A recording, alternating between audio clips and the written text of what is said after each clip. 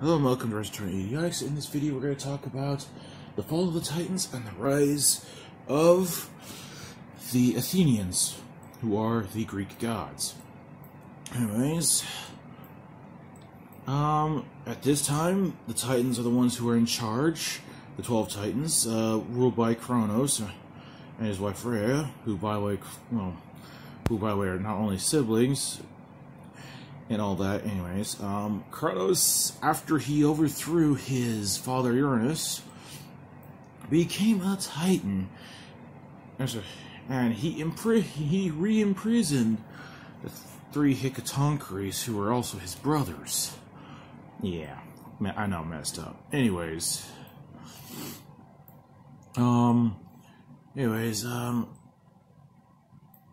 Kronos, fearing that one of his children would overthrow him, started eating his own children, Hestia, Hera, Demeter, Hades, and Poseidon, but Rhea, not wanting to let her sixth child, Zeus, be eaten, had Zeus be raised either by the sea nymphs or by Gaia herself, and instead had Kronos eat a stone in a swaddling cloth, which you know was probably uh, which kind of you know if he was a kind of made me wonder did he even notice?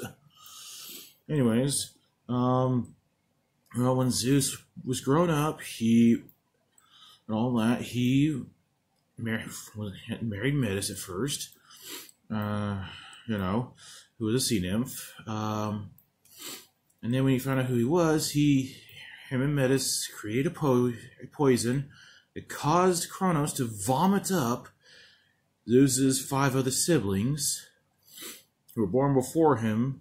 And of course, because of this, they were reborn, fully grown as adults, and now, and therefore making Zeus now the older sibling, oldest of the oldest of them.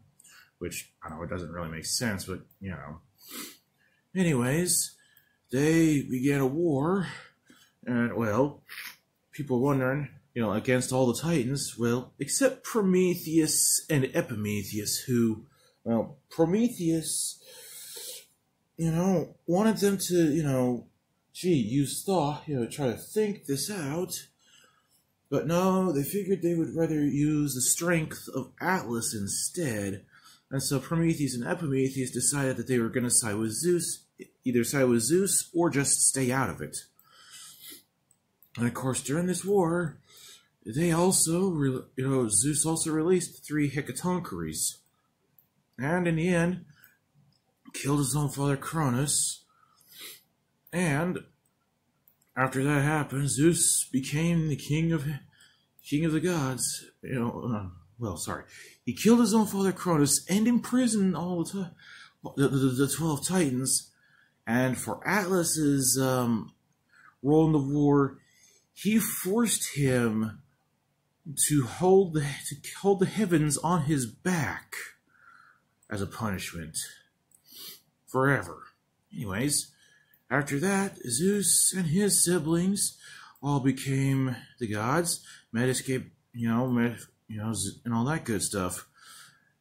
And well, uh, uh, uh, the rest about the gods we know well, Zeus did, well, just couldn't keep it in his bite and all that. Anyways, thanks, like, subscribe, and stay safe, people.